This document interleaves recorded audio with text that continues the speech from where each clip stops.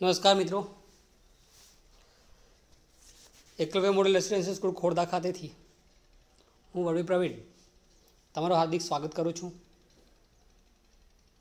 અમારી YouTube channel ઉપર છથી લઈને ધોરણ બાર સુધીના દરેક વિષય માટે ના વીડિયો અપલોડ કરવામાં આવે છે, ખાસ ગુજરાતી મીડિયમ માટે, કે જેથી વિદ્યાર્થીઓ ઘરે બેસી અભ્યાસ કરી શકે છે. અને કોઈપણ સબ્જેક્ટની અંદર કોઈ પ્રશ્ન હોય તો એ જ વીડિયો નીચે તમે કમેન્ટ બોક્સમાં લખી શકો છો. આજે આપણો ધોરણ અગિયાર આર્ટ્સની અંદર ભૂગોળ વિષય લઈ રહ્યા છે, જેની અંદર આજનો ટોપિક છે વાતાવરણ. એટમોસ્ફિયરની આજે વાત કરવાના છે. જેની અંદર આજે આપણે ચર્ચા કરીશું વેધર એન્ડ ક્લાઇમેટ સૌપ્રથમ વેધરની વાત કરી લઈએ. ટૂંકમાં સમજી લઈએ કે વેધર કોને કહેવાય? એન્ડ ક્લાઇમેટ બંને વચ્ચે નાનો અમથો તફાવત છે. એ તફાવત આપણે ટૂંકમાં સમજી લઈશું. તો હવામાન કોને કહેવાય? એ સમજીએ. ટૂંકા ગાળાની વાતાવરણની વાસ્તવિક સ્થિતિને હવામાન કહે છે. એના માટે ઉદાહરણ આપ્યું છે દાખલા તરીકે.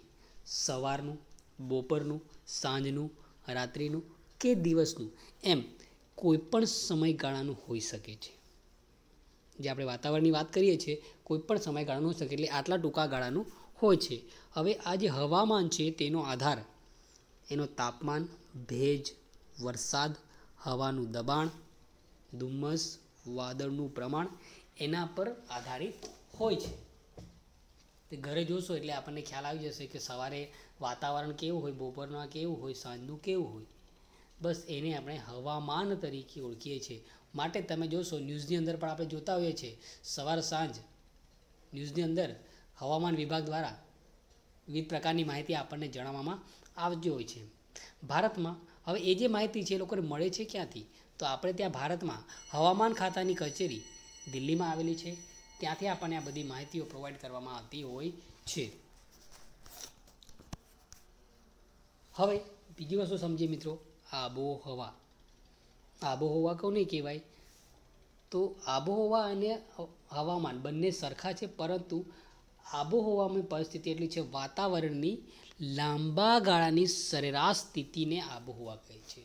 ખૂબ જ લાંબા સમય લાંબા સમય માટે સામાન્ય રીતે જે તે પ્રદેશની પાંત્રીસ કે તેથી વધુ વર્ષોની હવામાનની પરિસ્થિતિ ઉપરથી તે પ્રદેશની આબોહવા નક્કી કરવામાં આવે છે. એટલે એની અંદર ત્રીસ, ચાલીસ વર્ષ કે પાંત્રીસ વર્ષ થાય એ દરમિયાન ત્યાંની પરિસ્થિતિ કયા પ્રમાણની હોય છે? વરસાદ ક્યારે આવે છે? ત્યાં ગરમી છે. એનો આધાર એ પાંત્રીસ વર્ષનું સરેરાશના આધારે એ નક્કી કરવામાં આવતું હોય છે કે ત્યાંની આબોહવા કેવી હોઈ શકે. હવે આ જે આબોહવા છે, એના કેટલાક તત્વો છે કે જેને આબોહવા કહી શકાય. જેને આપણે ખાસ સૂર્ય સાથે પૂરો સંબંધ ધરાવે છે. એના જે પવનો છે, પવનો સાથે સંબંધ ધરાવે છે. પછી વરસાદની વાત કરીએ, વરસાદ હોય, પછી એનું ભેજ હોય, એવા પરિબળો છે, જે તત્વો છે, એના આધારે અહીં આબોહવાને આપણે સમજવાનો પ્રયત્ન કરીશું. પ્રથમ છે સૂર્યઘાત અને તાપમાન. સૂર્યમાંથી મળતી ગરમીને સૂર્યઘાત કહે છે. યાદ રાખજો મિત્રો, સૂર્યમાંથી જે ગરમી મળે છે એને સૂર્યઘાત કહેવાય. એટલે સૂર્યઘાતનું પ્રમાણ અક્ષાંશ પ્રમાણે જુદું જુદું જોવા મળે છે. જેમ કે ઉષ્ણકટિબંધમાં સૂર્યના કિરણો લંબ પડતા હોવાથી એ રીતે સીધા પ્રમાણમાં સીધા પડતા હોવાથી જે લંબ એના માટે કહેવામાં આવ્યું છે, ત્યાં તાપમાન ઘણું ઊંચું રહે છે. જ્યારે ધ્રુવ પ્રદેશોમાં, જેમ કે આ પૃથ્વીનો ગોળો છે, આ જે ધ્રુવ પ્રદેશો છે, સીધું છે. માની લો કે આ ધ્રુવ પ્રદેશો સાઈડ પર છે. ત્યાં સૂર્યઘાતના તાપમાન પરથી પ્રદેશની આબોહવા ગરમ, ઠંડી સમ વિષમ એવી નક્કી કરવામાં આવતું હોય છે. કેમ કે ત્યાં તાપમાન એટલું બધું નથી, માટે ત્યાં તાપમાન ઓછું જોવા મળે છે. એટલે આ તાપમાનના આધારે આપણે નક્કી કરી શકીએ કે અમુક જગ્યાની આબોહવા ઠંડી છે સમ છે, વિષમ છે એવા આપણે ધારણાઓ કે નક્કી કરી શકતા હોય છે. હવે આપણે બીજા મુદ્દાની વાત કરીએ, દબાણ અને પવનો. અક્ષાંશ સમુદ્રથી અંતર પ્રાકૃતિક રચનાઓ ભૌગોલિક સ્થાન, ઊંચાઈ, જંગલ પ્રદેશો વગેરે કારણસર હલકા અને ભારે દબાણો રચાય છે. વિષુવવૃત્તના પ્રદેશોમાં ગરમીને કારણે હલકું દબાણ અને ધ્રુવીય કે ઠંડા પ્રદેશોમાં ઠંડીને કારણે ભારે દબાણ અનુભવાય છે. એટલે જ્યાં ઠંડક છે, ત્યાં દબાણ વધુ છે. જ્યાં ગરમી વધારે છે, ત્યાં હવા પાતળી હોવાને કારણે ત્યાં દબાણ આપણને ઓછું જોવા મળશે.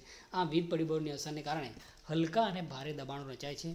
ભારે દબાણ પરથી હલકા દબાણ તરફ હવા ગતિ કરે છે. સમુદ્ર પર ભારે દબાણ હોય છે, ત્યારે અહીંના ભેજવાળા પવનો હલકા દબાણવાળા ભૂમિખંડો તરફ વાય છે અને વરસાદ આપે છે. એટલે સમુદ્ર પરથી આવતા પવનો ઠંડા હોવાને કારણે કિનારાની આબોહવા સમ રહે છે. જ્યારે સૂકા પવનો કે જે ભાગમાં વાય છે, ત્યાં વરસાદ ખૂબ જ ઓછો પડે છે અને આબોહવા વિષમ બને છે. આગળ જોઈએ ભેજ અને વરસાદ. વાતાવરણમાં વરાળ રૂપે રહેલા પાણીને ભેજ કહે છે. ભેજનું પ્રમાણ બાષ્પીભવનની તીવ્રતા પર આધાર રાખે છે. સૂકા રણમાં ઓછા વરસાદને કારણે અને ધ્રુવ પ્રદેશોમાં નીચા તાપમાનને કારણે બાષ્પીભવન મંદ થતું હોવાથી હવામાં ભેજનું પ્રમાણ ઓછું થાય છે. તેથી આ વરસાદ ઓછો આપે છે. જ્યારે વિષુવવૃત્ત પ્રદેશ, પ્રદેશમાં સૂર્યના કિરણો બારે માસ લંબા પડતા હોવાથી બાષ્પીભવન સૌથી વધુ થાય છે અને દુનિયાનો સૌથી સરેરાશ વધુ વરસાદ ત્યાં જ પડે છે. હવામાં રહેલો ભેજ ઉકળાટને બાષ્પ ઉત્પન્ન થાય, ખત કરે છે. કારણ કે વિષુવવૃત્ત પ્રદેશોની ભેજવાળી આબોહવા માનવ સ્વાસ્થ્ય માટે અનુકૂળ નથી. આ રીતે ભેજ અને વરસાદના કારણે સૂકી કે ભેજવાળી આબોહવા નક્કી થાય છે. આ હતા મિત્રો આબોહવાના તત્વો. હવે આપણે જોઈશું આબોહવાને અસર કરતા પરિબળો. એ એના એ વસ્તુ હોય તો જ ત્યાં આબોહવા આપણે નક્કી કરી શકીએ. જ્યારે આ જે પરિબળો અત્યારે ચર્ચા કરવાના છે, એ અસર કરતા પરિબળો છે. એના કારણે વધારો, ઘટાડો આપણને જોવા મળે છે. એમાં નંબર એક છે અક્ષાંશ. અક્ષાંશ આબોહવા પર અસર કરતું એક મહત્વનું પરિબળ કહેવાય. વિષુવૃત પ્રદેશમાં સૂર્યના કિરણો લંબ પડતા હોય ત્યાં ગરમી વધારે છે, બાષ્પીભવન વધારે છે અને વરસાદ વધારે છે. આથી આ પ્રદેશોમાં આબોહવા ગરમ અને ભેજવાળી જોવા મળે છે. ખાસ લખજો મિત્રો. આબોહવા વિષુવૃત પ્રદેશોમાં ગરમ અને ભેજવાળી જોવા મળે છે. જ્યારે ધ્રુવીય પ્રદેશ તરફ સૂર્યના કિરણો ત્રાસા પડતા હોવાથી ત્યાં બાષ્પીભવન ઓછું થાય છે અને વરસાદ ઓછો આપે છે. તેથી ત્યાં બારે માસ અતિશય ઠંડી આબોહવા અનુભવાય છે. ખાસ ભૂમધ્ય પ્રદેશના ત્રીસ અંશ અને પિસ્તાલીસ અંશના અક્ષાંશ પટ્ટામાં ઉનાળામાં સૂકી અને શિયાળામાં હુંફાળી તથા ભેજવાળી આબોહવા જોવા મળે છે. ત્યાર પછી આપણે આગળના મુદ્દાની વાત કરીએ. સમુદ્રથી, સપાટીથી ઊંચાઈ. સમુદ્રથી જેમ જેમ ઊંચાઈ જઈએ તેમ તેમ તાપમાન ઘટે છે. એક કિલોમીટરની ઊંચાઈ વાતાવરણમાં છ પોઈન્ટ પાંચ સેલ્સિયસ તાપમાન ઘટે છે. સમુદ્ર સપાટીથી જેમ જેમ ઊંચાઈ જઈએ તેમ તેમ તાપમાન સાથે દબાણ પણ ઘટે છે. કેટલાક સ્થળો ઉષ્ણકટિબંધ આવેલા હોવાથી તેમની ઊંચાઈના કારણે ત્યાં આબોહવા, ખુશનુમા અને સ્ફૂર્તિદાયક જોવા મળે છે. દક્ષિણ અમેરિકા ખંડના ઇક્વેડરનું ક્વિટો શહેર વિષુવવૃત્ત પર આવેલું હોવા છતાં ત્યાં આબોહવા ઊંચાઈના કારણે ખૂબ જ ખુશનુમા રહે છે. લોકો ઉનાળાની સખત ગરમીથી બચવા માટે શિમલા, મનાલી, દાર્જિલિંગ, માઉન્ટ આબુ, સાપુતારા પંચમળી મહાબળેશ્વર જેવા વિવિધ સ્થળો પર જતા હોય છે, હવા ખાવાના સ્થળ એને આપણે કહી શકીએ છીએ. ત્યાર પછી સમુદ્રથી અંતરની વાત કરીએ. સમુદ્ર, જમીન અને પાણીની ગરમી સંગ્રહ કરવાની શક્તિ અને આપલે કરવાની શક્તિ જુદી જુદી છે. પૃથ્વી પર આવેલા મહાસાગરો અને ભૂમિખંડો આ પર સ્પષ્ટ જોવા મળે છે. સમુદ્ર કિનારા નજીકના વિસ્તારમાં સમુદ્રની અસરને કારણે આબોહવા સમઘાત જોવા મળે છે, જ્યારે સમુદ્ર દૂર ખંડસ્થ્ય ભાગોમાં તાપમાન ઊંચું રહે છે અને વરસાદ ઓછો પડે છે. મુંબઈ, સિંગાપુર, લંડન સંઘાઈ જેવા વિવિધ શહેરોમાં સમુદ્ર કિનારે હોવાથી ત્યાં સમઘાત આબોહવા છે. જ્યારે દિલ્હી, મોસ્કો, અમૃતસર, લાહોર જેવા જગ્યા પર આબોહવા વિષમ જોવા મળે છે.